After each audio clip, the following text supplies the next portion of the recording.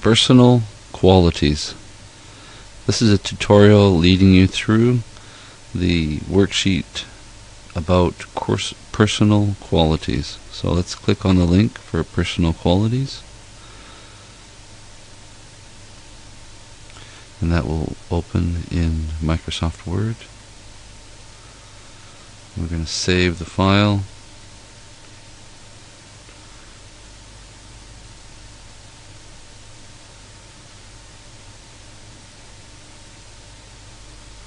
Should open up. Dialog box. Where is it? Maybe it's down here. There we go. Okay, personal qualities. Okay, so I'm going to open it and save it. It's a Word document. And I'm going to save it on my desktop. Once again, add my name to this. Adam underscore Lossing. Underscore. Take a homework. And call it personal qualities. And save it. Okay. Now admirable personal qualities. Admirable means something that you could admire Okay, it's an adjective for something that describes something that you could admire. Now, your homework is to complete and bring to the first class of semester two.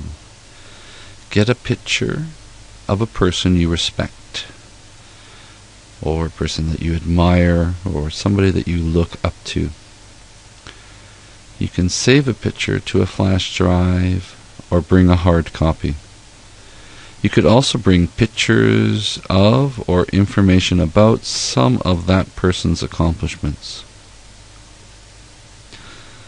Now, think about why you admire that person. What is he or she like?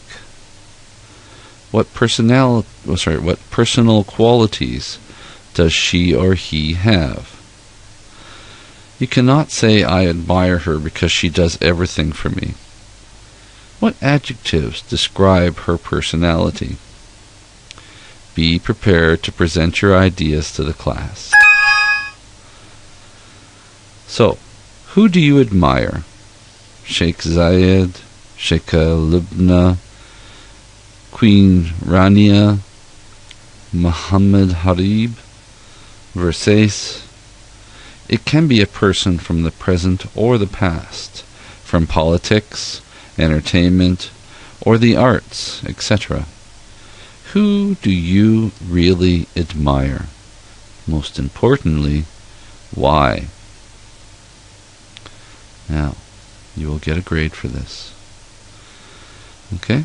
So, your work is to present your ideas to the class about a person that you admire and you need to be able to use adjectives that describe her or his personality.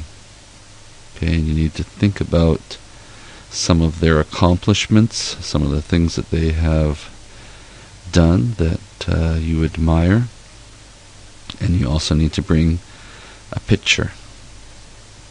Okay, so that's the work that you need to do. Uh, I would like to see you put that together into a document. Okay, so let's add something here that says be prepared.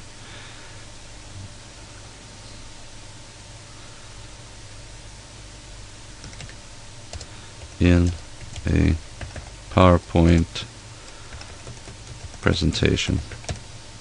Okay, so put the picture and some information into a PowerPoint presentation using the information that you see here. Okay? And then you need to upload that completed PowerPoint to, to your uh, to the course website. Okay? Good luck with that. And uh, do let me know if you have any questions.